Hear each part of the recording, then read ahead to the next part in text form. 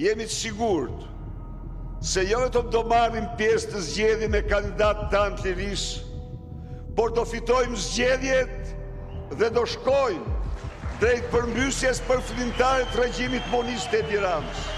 Ne jemi tetëqind mijë njerëz, tetëqind mijë njerëz Plus, edhe ata që tani do të votojnë nga emigracioni, ne duhet të synojmë një milion.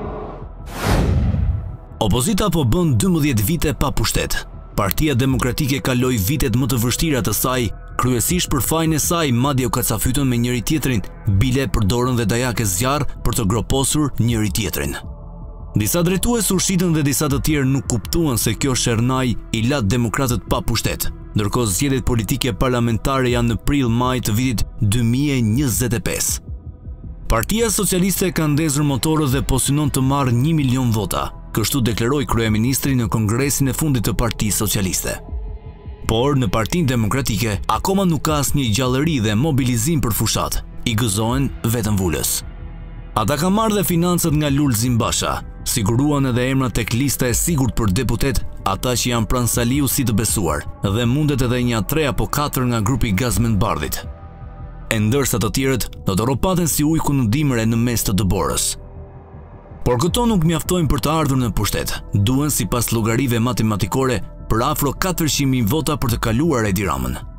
Kryeministri nga ana tjetër ka deri më sot tetëqind mijë vota, ndërsa Partia Demokratike dhe opozita sillen diku tek gjashtëqind mijë vota.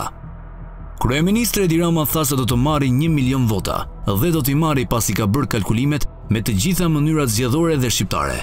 Atëherë, ku do t'i marri Partia Demokratike dhe katërqind mijë vota? Nga pjesa demokrate kaq nxjerr kazani i rakisë, diku tek 500.000 vota dhe me Metën e të tjerë mund të kapin 600.000 vota. Ndaj duhet pjesa e elektoratit gri, siç quhet në zhargonin e fushatës elektorale. Por si, me Saliun kandidat për kryeministër? Përgjigja është jo, nuk i merr.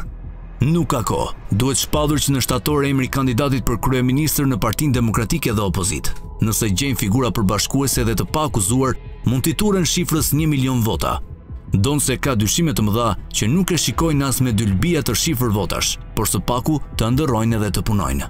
Protestat janë zemërim, herë tjetër, te shpia e Ramës, herë tjetër! Rama nuk ikën! Rama shporret! Çoni do.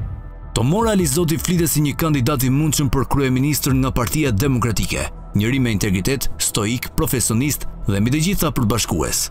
Ai në elektorat krijon besim dhe nuk është si të tjerët, ka personalitet dhe e do perëndimi. A do t'ia japi lejen Sali Berisha?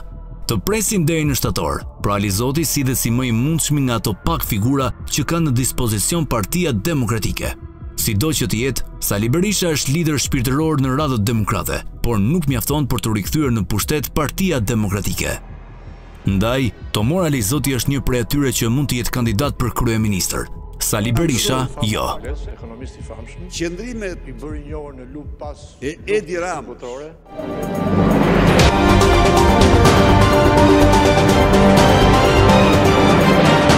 Editoriali i Koha Jonë.